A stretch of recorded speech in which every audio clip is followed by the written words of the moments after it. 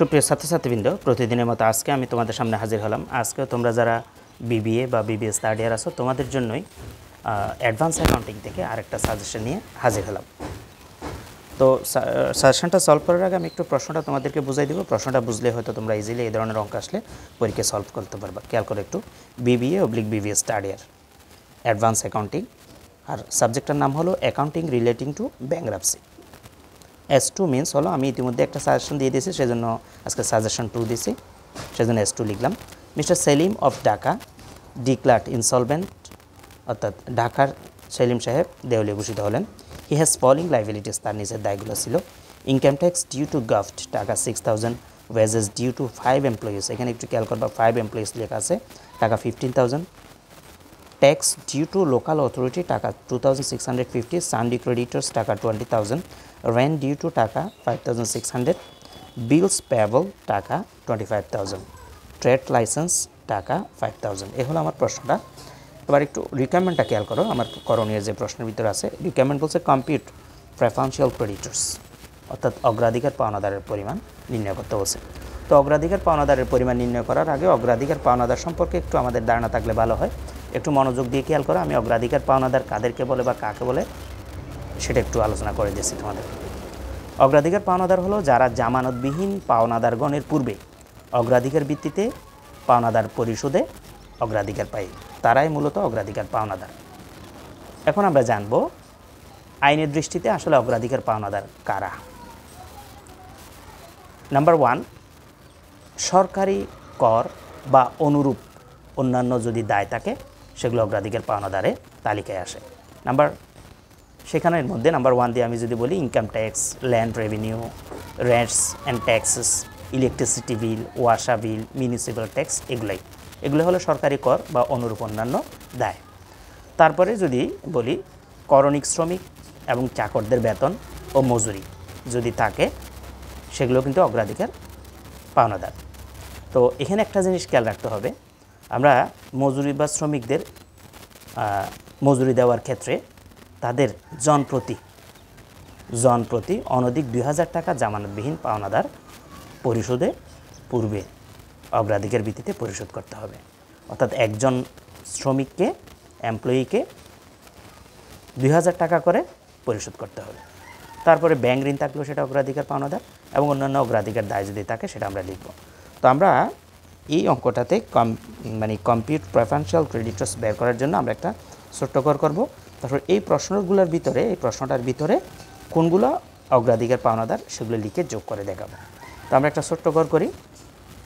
আমাদের অগ্রাধিকার, পাওনাদারটা বের করার জন্য একটা যদি ছোট্ট কর করে আমরা খেয়াল করো। ক্যালকুলেশন অফ সবার উপর আগে লিখব। Calculation of calculation of preferential creditors preferential creditors.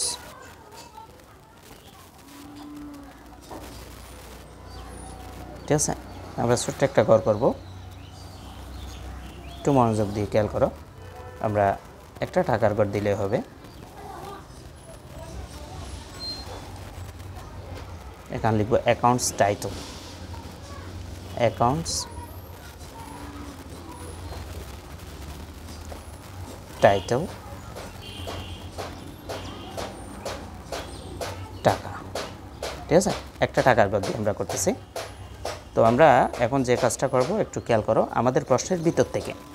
আমি যে কিছুক্ষণ আগে অগ্রাধিকার শেয়ার কোনগুলোর এবং অগ্রাধিকারের তালিকাটা একটু বর্ণনা করলাম সেই নামগুলোর মধ্যে কি কি আছে এই প্রশ্নের মধ্যে?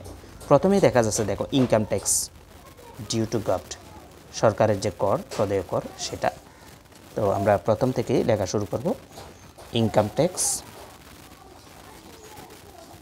due to govt ঠিক আছে? টাকার পরিমাণ হলো সিক্স থাউজেন্ড টাকার পরিমাণ হলো সিক্স থাউজেন্ড তারপরে লেখা আছে ওয়েজেস একটু খেয়াল করো wages due to five employee টাকা ফিফটিন থাউজেন্ড ওয়েজেস বকেয়া পাঁচজন এমপ্লয়ির পনেরো হাজার টাকা। কিন্তু লতে লিখা আছে, আইনের মধ্যে আছে, কমপক্ষে তাদেরকে দুই হাজার টাকা করে পে করতে হবে। সেজন্য আমরা লিখব wages due to five employee তাহলে wages due to five employee দেখাইতে হবে এটা। Wages